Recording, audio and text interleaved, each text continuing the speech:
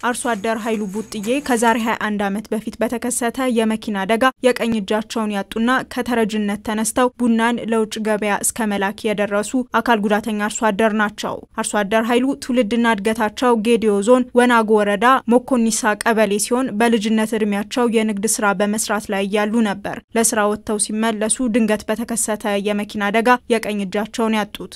ከአደጋው በኋላ ከጓደኞቼ ወደ ኋላ ቀር ይሆን የሚል ስሜት እጅጉን ሀሳብ ይሆንብኝ ነበር የሚሉት አቶ ኃይሉ ዘመዶቻቸውም ቢሆኑ የእሳቸው ነገር እንዳበቃ አድርገው ያሰቡበት ወቅት እንደነበር ያስታውሳሉ። ስሜት ብዙ እንትን ፍርሃት ደረሰኝ። ድንጋጤ ውስጥ ነን ነው። መጀመሪያ ለሰው አካል እጅ ነው መሰራቱ አይን፣ እጅ፣ እግር ነው። ግን አንድ እጅ ካጣ በጣም ድንጋጤ ውስጥ ነበረው። እኔ ብቻ ሳይሆን ቤተሰብ ሁሉ ይሄ ልጅ ወደ ቤት የት ደርሳል? እንዴት ብለ እንዴት አድርገ እናሳደጋለኝ? ለቅሶው የሞላ ሰው ብቻ ነው በዛ ጊዜ።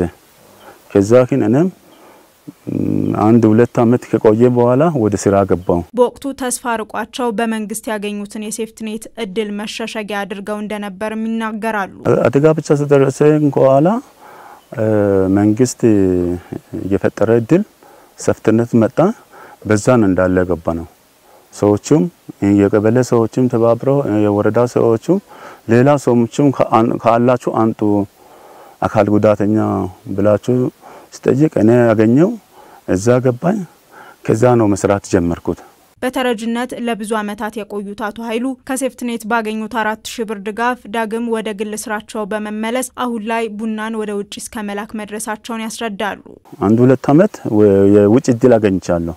ከዛ የበለጠ እድል ከንጠንካጣ ናሙና ሄጄ ናሙና ወደ አዲስ አበባ ልካለሁ። ከዛ ናሙና ወደ እንትን ካልወጣ አዲስ አበባ ገባ በአገር ገበያ ሽጣለሁ። አዲስ አበባ ለዓለም ገበያ ማለት ነው።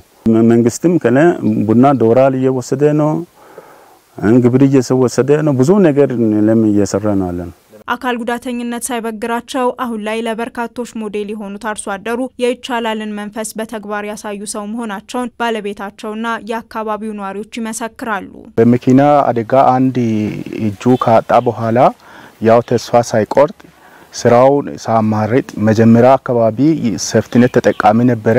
ከዛ በኋላ ሴፍትኔት ያው አንድ አስር አመት ያህል ተጠቃሚ ከሆነ በኋላ ራሴ ለምን አልለወጥም በማለት ቡና ስራዎች፣ የእንሰት ተከላ፣ የተለያዩ ከብት ማድለብ ስራዎችን በአንድ እጁ እየሰራ ለሁለት እጅ ካለው ሰው በላይ ነው አሁን እሱ እየሰራ ያለው። ባለቤቴ ከሚባለው በላይ እጅግ በጣም ጠንካራ ሰው ነው። ሁለት እጅ ያላቸው ሰዎች የማይሰሩትን ስራ በአንድ እጁ ይሰራል። ከሱ ብዙ ሰው መማር አለበት።